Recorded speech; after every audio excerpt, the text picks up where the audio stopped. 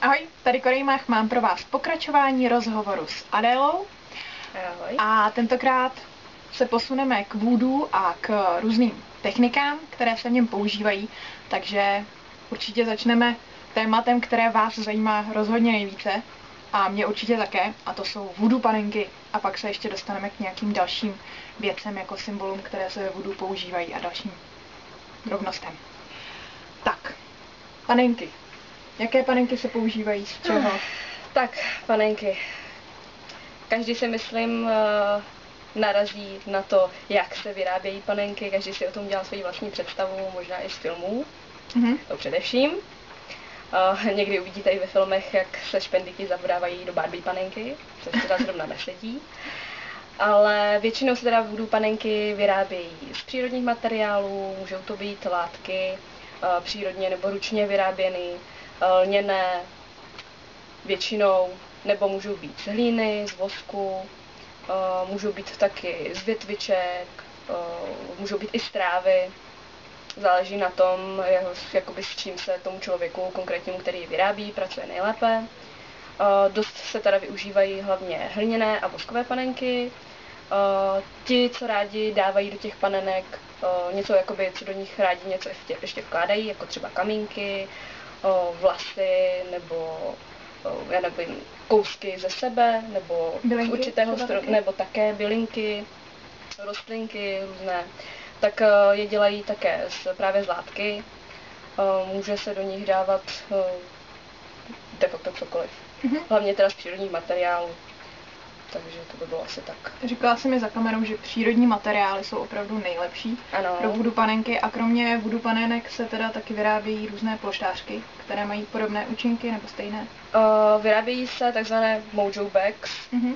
Eh, Jsou to takové polštářky nebo váčky. Eh, Ty většinou se vyrábějí za konkrétním účelem, eh, třeba mm, podporou lásky, podpora štěstí, přitáhnutí peněz. Ale to už spíš, podle mě to jakoby spíš už spadá do hudů, takže jako používá se to, využívá se to i ve voodoo určitě, ale většinou, většinou spíš už to patří k, k hudů a k svíčkové magii. Takže voodoo ve zkratce je v podstatě svíčková magie. Svíčková magie, magie vůní a tady těch mojo bags. Mhm. Uh, dobrá, takže když se vrátíme k panenkám, tak k čemu všemu se panenky mohou použít a jak je to teda s tím, že se dají prošpikovat je hlava? Ah, tak k čemu všemu? Určitě panenkami můžete uškodit, to vás určitě bude zajímat. Pane, panenkami se dá hodně uškodit, můžete díky tomu na člověka přivolat bolesti, nemoc. Uh, také tu nemoc i ty bolesti můžete uh, odejmout eh, skrze tu panenku. De facto skrze ty panenky se můžete propojit s určitým člověkem nebo sám se sebou, můžete pracovat i se sebou, to je taky důležité, že vyrobíte třeba panenku přímo pro sebe. Mhm. Když vás něco trápí, máte třeba psychické problémy nebo máte nějaké zdravotní problémy, můžete se propojit nebo spojit s tou panenkou a pracovat takhle, že odjímáte skrze tu panenku svoji vlastní bolest nebo uh, uvolňujete napětí Mhm, a mhm. podobně. To je velmi zajímavé. Takže ty panenky v podstatě jsou použitelné taky pro určitá odvětví běžné magie, především Ano. k léčitelství v tom Ano, pozitivním smyslu. Mm. Ale dnešní samozřejmě- jakoby, samozřejmě nejvíce, nejvíce se uh, otáčí lidé za tím, že se využívá k uškození nebo k ublížení, k usmrcení. Mhm. A to dělají určití černokněžníkové, kteří se nazývají jak? Ano, říká se jim bokor eh, ve voodoo. Eh, Samozřejmě můžete nazývat, jak už řekla Korejmach, černokněžníky nebo také černými mágy. Uh, jakoby uh, ta černá magie uh, s těmi voodoo panenkami, které se využívají pro nezrovna hezké účely, tak se můžou využívat i v té bílé magii. Jo, jenže to už je to už je pro oproti a je to složitější.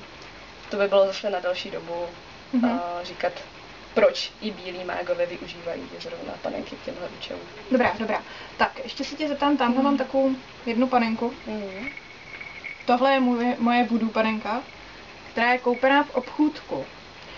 Někde, ani nevím kde. A ty jsi mi říkala, že s těmahle panenkama vůbec nejsi spokojená. Tak nám řekni proč. Nejsem spokojená, mám na ně vyhraněný názor, protože podle mě je těžké se spojit s tou panenkou nebo propojit, když eh, si ji člověk nevyrobil sám. Uh, rozhodně je stoprocentně lepší vyrobit si panenku, když už chcete pracovat s panenkami, vyrobit si panenku sám, přírodních materiálů, dát možná něco do ní ze sebe, když chcete pracovat sami se sebou. Pokud ji chcete použít k tomu, abyste pomohli někomu jinému, tak nejlépe, aby o tom ten člověk věděl a když už nechcete, aby o tom věděla, pomoct mu za jeho zády, tak stejně je dobré vyrobit si tu panenku sám z vlastních materiálů, z vlastních zdrojů, protože nikdy nevíte z velkovýroby, kdo s tím pracoval, kdo se toho dotknul, co do toho vložil sám, mm-hmm. ať už umyslně nebo neumyslně. Dobrá. A ještě se tě teda zeptám, když se napojuje na určitou tu panenku a chci spojit s určitou osobou, tak všichni určitě víme, že se mluví o vlasech, nechtech, kusech oděvu a různých tekutinách tělesných. Rozhodně tohle to hodně pomůže. Uh, protože, jak už uh, možná někteří víte, vlasy nebo cokoliv z člověka, ať už jsou to nechty, sliny, krev, moč, kůže, tak je to velice silná pomůcka, protože v nás samotných je esence a díky tomu se předává i do různých částí těla samozřejmě, ta esence je v nás, takže když nám odpadnou vlasy, stále se v tom udržuje i kus té esence nás samotných takže ji přenášíme i do těch vůdů panenek skrze tyto mm-hmm. části. A tím se v podstatě ta panenka propojí, propojí s tím s určitým člověkem. Ano, přesně mm-hmm. tak. Dobře. Tak, uh, už jsme trochu zabrousili k Mojo Bags, tak já k tomu jenom řeknu ve zkratce, že jsem dělala někdy zpátky, asi skoro před rokem, dílo o škapulířích, takže tam se určitě můžete podívat na to, jak se používají různé sáčky nebo co všechno se do nich může dávat, jelikož se často používají i v Evropě a v běžném čarodějnictví takovém tom běložském, když to tak řeknu. A přesuneme se k symbolům, které se používají ve vůdu a k takzvaným VV.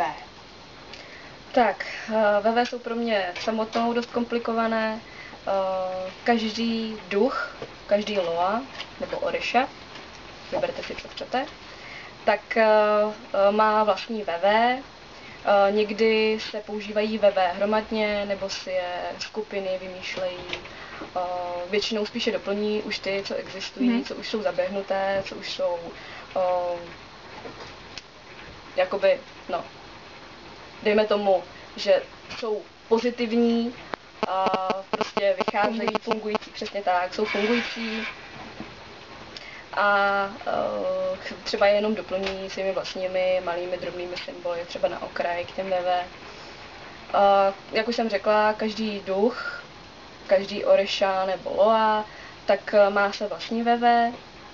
Já vám tady ukážu Azianin symbol.